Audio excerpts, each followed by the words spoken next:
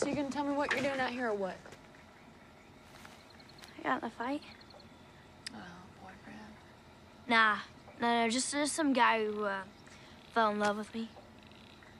That so? Yeah, yeah, and he freaked out on me, so I, I looked him straight in the eye, and I said, let me out. And, you know, he tried to make me stay, beg me, actually, but no, no, ma'am, I just, I just left him there, middle of nowhere.